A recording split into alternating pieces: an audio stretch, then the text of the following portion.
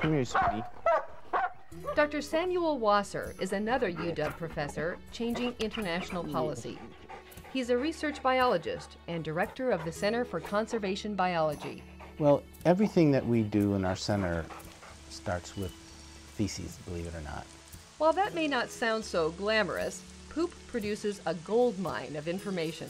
We can get the DNA, tell its species, its sex, its individual identity, and we can get all these physiological measures. We can tell if it's stressed, if it's nutritionally impaired, if it's reproductive or not, and uh, we can get toxins from the sample, and we can do all that without seeing the animal at all. All right, ready to find it? Oh, all right, let's go. And then you couple that with dogs that can collect huge numbers of samples over large landscapes, and you have a tool like none other. Wasser launched Conservation Canines in 1997. The program now sends scat sniffing dogs all over the world. We first started out working on grizzly bears and black bears. Actually, in Washington State, we found the first grizzly bear ever found in the Cascades. The smallest animal we study is the Pacific pocket mouse in Southern California, which is the size of a golf ball and its feces is the size of a sesame seed. The dogs have done animals as big as right whales and killer whales. And Tucker is the one who specializes in killer whale waste. Pretty amazing for a dog that doesn't like water. We picked Tucker because Tucker hates the water. He's just, he's hysterical about it. He's got a scent. Tucker will work tirelessly for a certain reward, playing with his ball.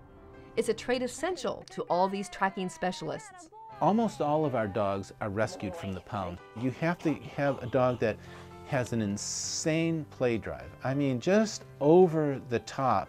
Tucker is a valuable helper in the quest to save a local endangered species.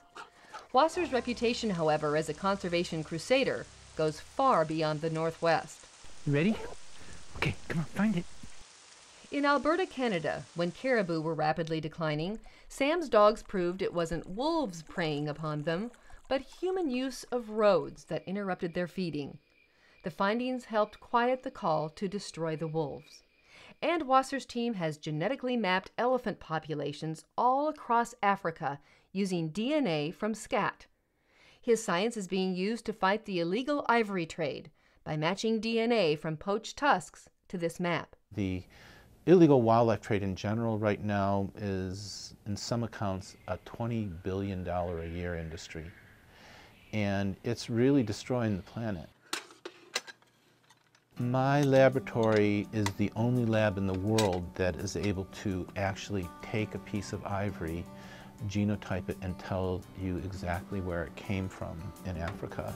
Several years ago, when a huge shipment of ivory was seized in Asia, the Wasser lab was able to trace the tusk's DNA to one place, Tanzania. What that means is once we identify a hotspot, we can actually send law enforcement in there and catch them in the act. So we can actually stop the elephants from being killed in the first place. No one else can do that. Plus, his research also convinced Tanzanian officials not to lower the protection status of their elephants. That would have allowed the country to sell their ivory stockpiles, which Wasser opposes, believing it helps keep the ivory trade alive.